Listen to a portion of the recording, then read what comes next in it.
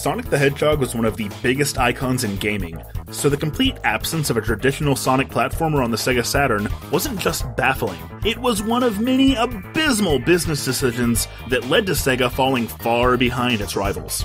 But by the fall of 1999, Sega had dusted itself off, charted a new course, and was ready to fire on all cylinders in one last desperate attempt to climb back to the top. It was a little inspiring and a little scary just how motivated the company seemed. But it was a great time to be a Sega fan. Sega had learned its lesson and would bring its beloved mascot exactly where he needed to be to a glorious gaming device that had one shot to make a name for itself. I speak, of course, of the Neo Geo Pocket Color. Aw, yeah! What do you mean you've never heard of it? This thing is awesome!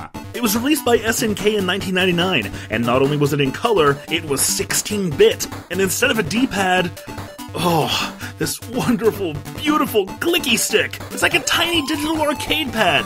You know, sometimes you might just look at something and maybe it doesn't look awesome, but if you've played with this thing, then you know what I'm talking about. It's the clicky stick. It's the clicky stick. The system had tons of great fighting games, fun arcade ports, a built in horoscope, and 40 hours of battery life on two AA batteries. SNK was going after Nintendo's Game Boy Color, but that system was still based on tech that was over a decade old. The Neo Geo Pocket could run circles around it, yet it was priced the same as the Game Boy Color, at $69.95. Sega's Game Gear had found some success in the early to mid 90s, but the company conceded the handheld market to Nintendo when they decided to go all in on the Saturn. So by the time SNK made a move to take on the Game Boy juggernaut, it only made sense for Sega to partner up. I mean, it's not like the VMU was competing with the Game Boy. Although the Neo Geo Pocket could actually link up to Sega's Dreamcast with a handful of compatible games. Works a lot like what Nintendo would do years later with the Game Boy Advance. Perhaps best of all, this partnership meant that SNK would get to borrow Sega's star player, Sonic Pocket Adventure, hit the shelves in November of 99.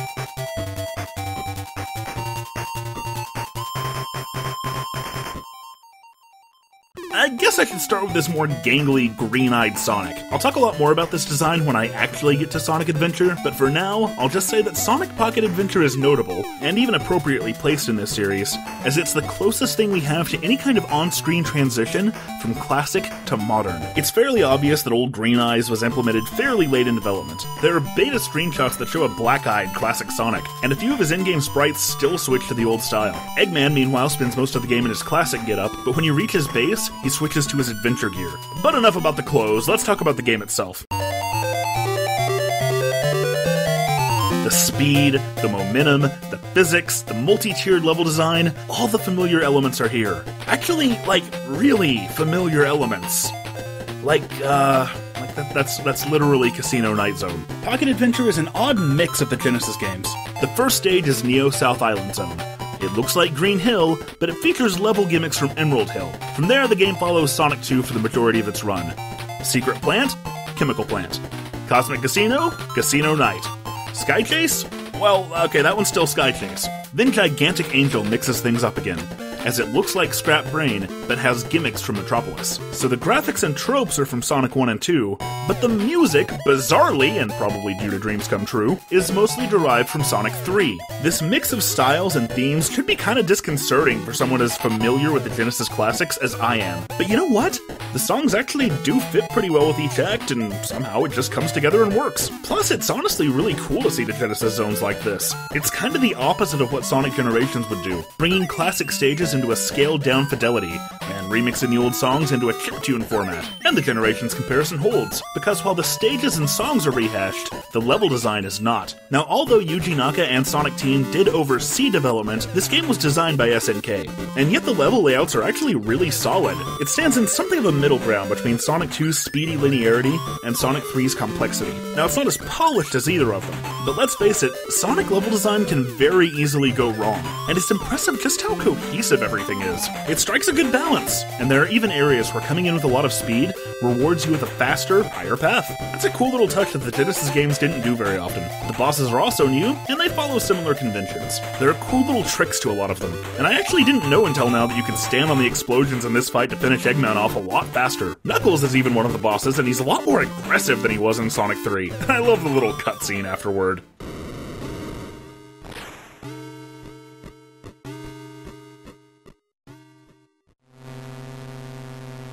For Chaos Emerald collecting, Pocket Adventure brings back the half pipe special stages, but they get a lot more challenging than Sonic 2's ever did. I thought it might just have been the smaller screen, but no, these really are tough. I never even got all the emeralds until this video.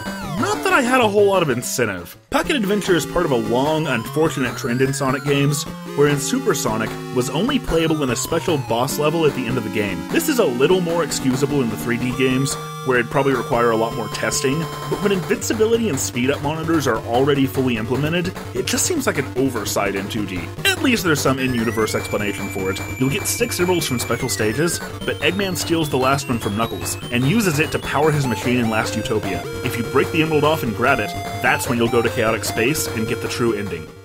If you're a fan of Sonic CD style exploration elements, Pocket Adventure has you covered. There are tons of puzzle pieces scattered in some really esoteric locations. Getting them lets you unscramble pictures. I was never a big fan of this when I was younger, but they actually led me to some pretty awesome bonuses and shortcuts when I was trying to find them. There's even a two player race mode, which I sadly never got to play, because nobody else I knew had a Neo Geo Pocket Color. And that was kind of the problem. Nobody bought this thing. I got the system and the game for my birthday on May 25th, 2000. Two weeks later, SNK would recall all of its US stock to be flashed and resold in Asia. And about a year later, shortly after the Game Boy Advance hit the market, the system was discontinued entirely. In any era, trying to compete with Nintendo in the handheld market is going to be like pushing a boulder up a hill.